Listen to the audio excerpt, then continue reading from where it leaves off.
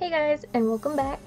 So this month I've been doing a lot of cute fan art for, you know, the month of love, Valentine's Day, and I've been trying to focus on layering, you know, because when I was a kid, you know, I was a little punk, and I didn't really pay attention, and I should have been, or applying myself more, but I'm determined this year to get some progress and results from my art, especially now that I have more free time.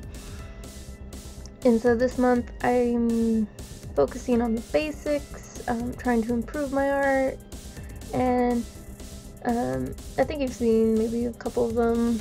And I've been trying out these different poses and stuff, and not really focusing on original content, but focusing on anatomy and making sure that the character looks right from the angle that they are, and practicing, you know, testing out new things and procreate and trying new brushes. Do I like this brush? Do I not like this brush?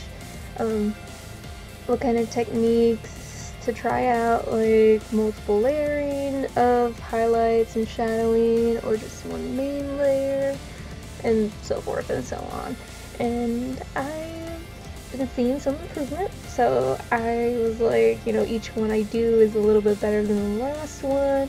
You know, even though I'll come across this brush and I'll be like, eh, the last one was better, but you know, the piece overall is better, um, which I think is fabulous because you know you get frustrated looking at your art and going, ugh, should I even draw?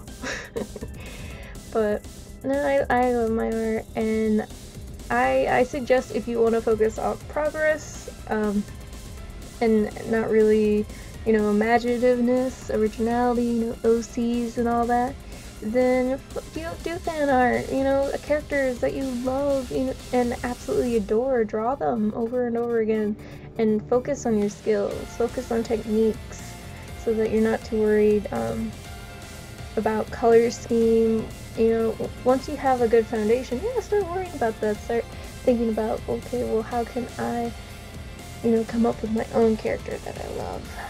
And, you know, what kind of color scheme do I want? You know, that kind of thing. You can start thinking about that. Um, this is just what was a priority for me right now, is that I want my foundation to be a lot more stronger than it is. And, you know, drawing my favorite cute couples is definitely a way for me to get there. So I hope you guys are loving these and love this. Like, subscribe, do what you guys want. I'll see you soon. Bye!